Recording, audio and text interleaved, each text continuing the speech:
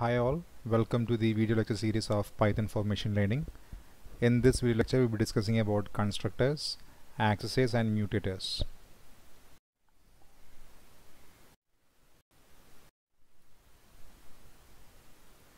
A constructor can be defined as a special type of a method. So a constructor is actually a method or a function, but it is used only to initialize the instance members of the class. So it's actually a method but it has got a specific purpose. A method that is used to initialize the instance members of a class is known as a constructor and it is used to create objects. The only purpose or the only responsibility of constructors is used it is to create objects. And there are two types of constructors they are parameterized and non-parameterized. As the name indicates parameterized constructor is the constructor that accepts parameters and non-parameterized non means these constructors will not accept parameters.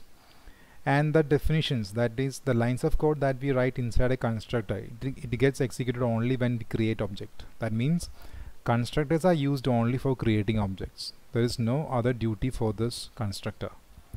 And it is a responsibility for of the constructors that it verifies that there are enough resources for the objects that we are creating.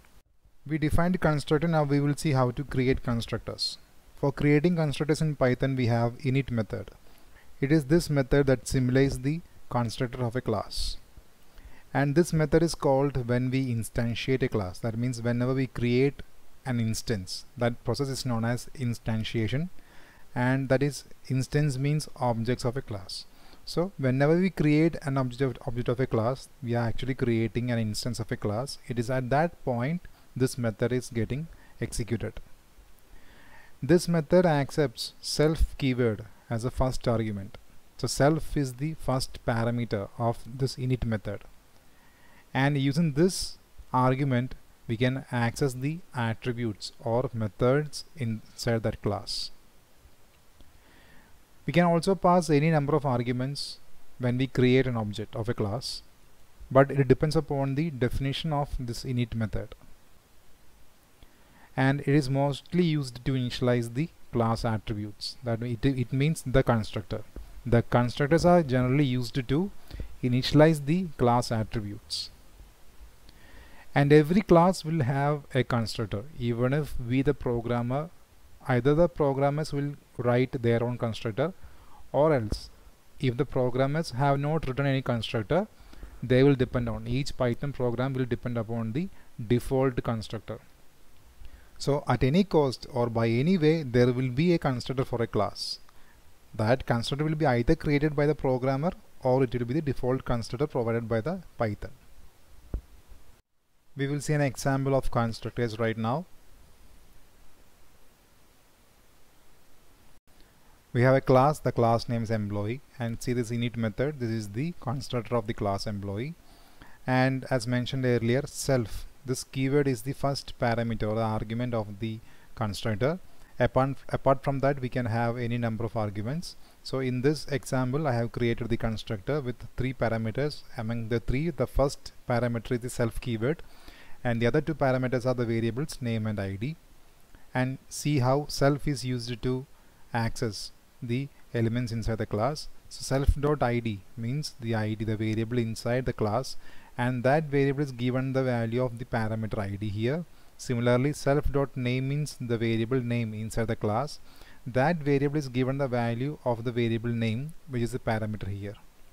And we have a method named display. It is also having self as the first argument. And we are accessing the id and name of the object by self.id and self.name so we can create the uh, object like this emp1 equal to employee john 101 so here emp1 is one object emp2 is another object. So when we created the object 1 emp1 we are giving two parameters.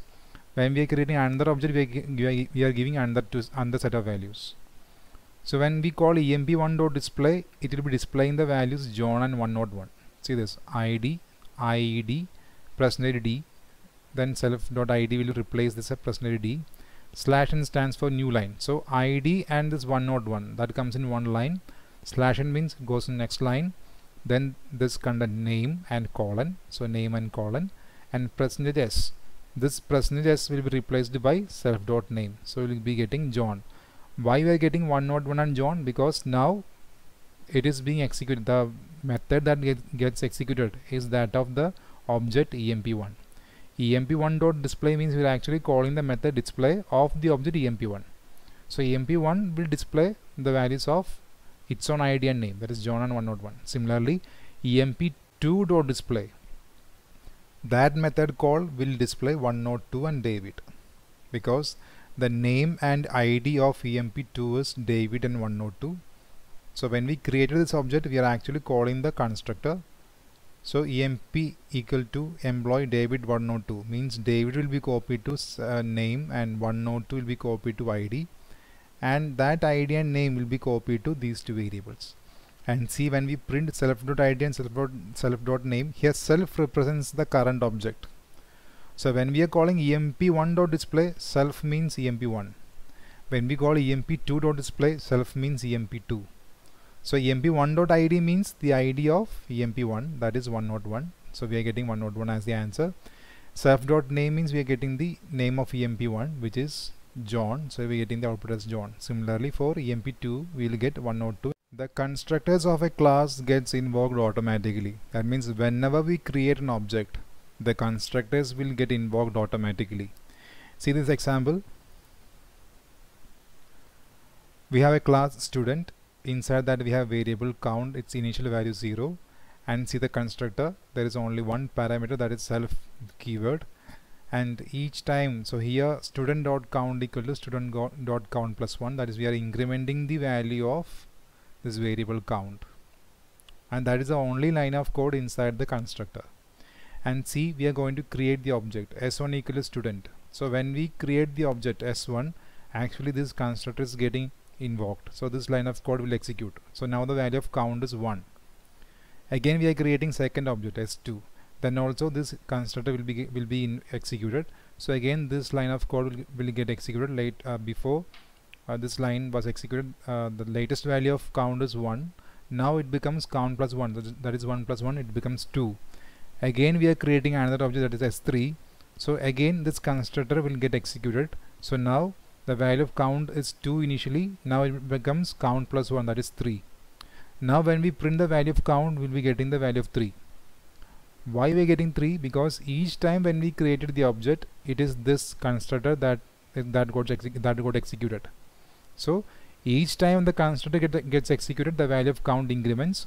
Here we are creating three objects. So count increments three times. So the value of count becomes 3 and that is what we are getting the get as mentioned before, there are two types of constructors. They are parameterized and non-parameterized.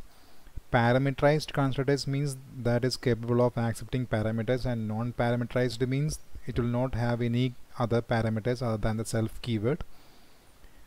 So we have seen the example before. Even then I have displayed two examples here. The, in this constructor there is no parameter other than the self keyword. So this is known as the non-parameterized constructor. In this constructor apart from the self keyword there is one variable that is name. So this is parameterized constructor. So we know that we have mentioned this before that is if the programmer forgot to write a constructor or if, if the programmer have not included included any constructor in the class then the class will have the python provided constructor and that constructor is known as default constructor. Okay. That means even if the programmer have not given the constructor every program will have a default constructor. So if I'm writing a Python program if I have written a class inside the Python program if I have not included any constructor then that, class that, that, that class will make use of the default constructor provided by the Python. On the other hand if I have written a constructor inside the class then whenever we create the object the constructor given by me itself will get executed. So either the constructor is given by the programmer or, or the default constructor. Any one constructor will be there for the class always. So if the programmer have not written the constructor then the default constructor will work and default constructor will not do anything except other than to initialize the object. Next we are going to discuss about accessors and mutators. So now we know that objects are actually instances of a class. So all the methods and variables inside a class, each and every object that we create of a class will get a copy of all the methods and variables inside that class. So there must be some way by which these objects can access these internal data properly.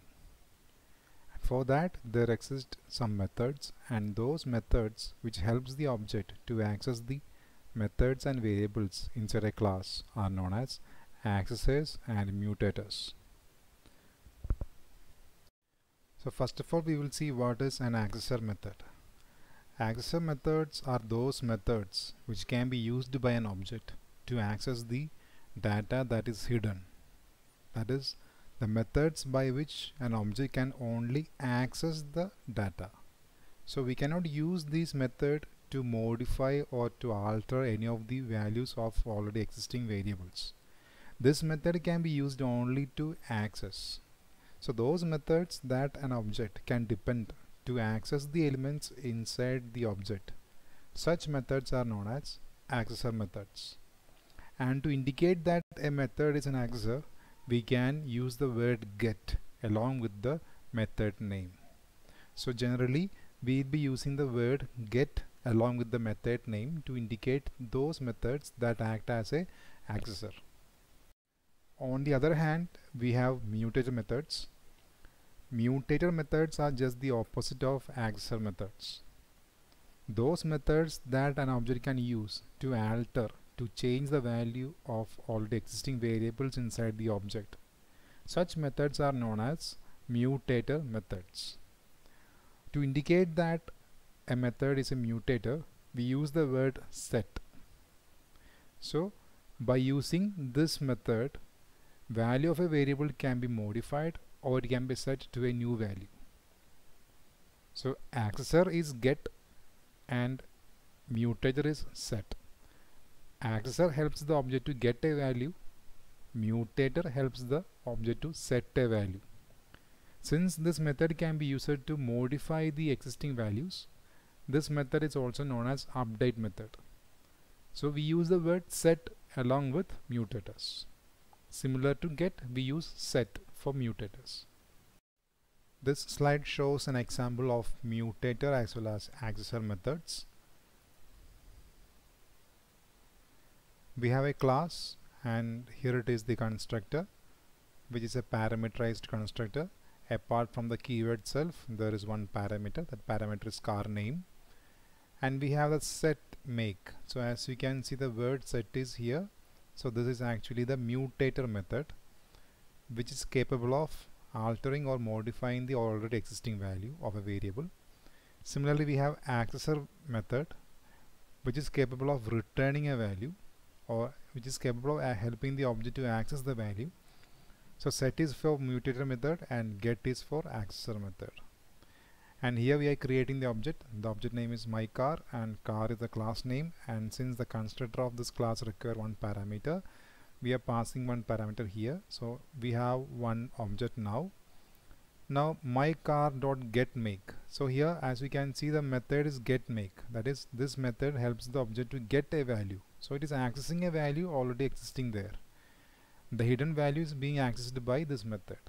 So this is the accessor method. So we'll be getting the output as Ford now we are going to make uh, use of the mutator method. That is already we have the variable make and its value is given as car name which I, it was initially Ford now we are going to change the value of that variable by calling the mutator method so set make is a mutator method and we are passing the parameter as Porsche. As you can see this is the mutator method. It requires one parameter and that value will be copied to the existing variable. So initially it was Ford now it become Porsche. After this line of code if we use the get make that is the answer method the output that we are going to get will be Porsche because the mutator method set make have changed the value of the variable we shall conclude now in this video lecture we discussed about constructors in python different types of constructors and also accessors and mutator methods in Python. That is all in this video lecture. Thank you so much.